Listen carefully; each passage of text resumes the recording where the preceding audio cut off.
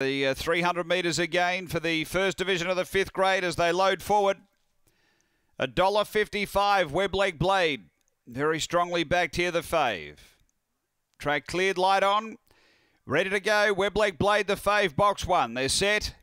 Racing, Webleg Blade step well. There's speed out deep. Global Gem and Northern Zone out quickly. And Mapunga Lock run up the track a bit and in behind them King Jeremy. So out deep we've got Northern Zone. The inside is Webleg Blade coming through. Webleg Blade going home a little too well. And the fave gets in. Webleg Blade beats Northern Zone. Third King Jeremy. Uh, then Mapunga Lock and Global Gem. The time here is around 16 and 60.